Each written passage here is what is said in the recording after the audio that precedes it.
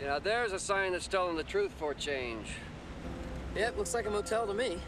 A frontier. Ever hear of Frederick Turner, Mr. Oliver? No, sir. Well, he was an historian. About a hundred years ago, he came up with a theory about the frontier. Said the frontier was a safety valve for civilization, a place for people to go to keep from going mad. So, whenever there were folks who couldn't fit in with the way things were, nuts, malcontents, and extremists, they'd pack up and head for the frontier. That's how America got started.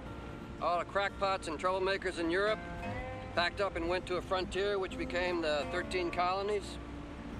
When some people couldn't fit in with that, they moved farther west, which is why all the nuts eventually ended up in California.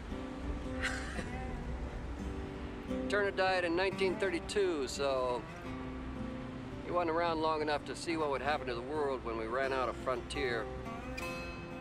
As some people say, we have the frontier of the mind, and they go off and explore the wonderful world of alcohol and drugs, but that's no frontier. It's just another way for us to fool ourselves. And we've created this phony frontier with computers, which allows people to, you know, think they've escaped. Frontier with access fees. What about space? You know, the final frontier. Ah, Star Trek isn't space. That's television. Fine fucking frontier that is. Besides, how many folks can just back up and go to space? Nah, the frontier is right here. Interstate 60. That's why it was put here. Give people who wanted something a little different a place to go. Is that really true, Mr. Cody? If it isn't, it should be.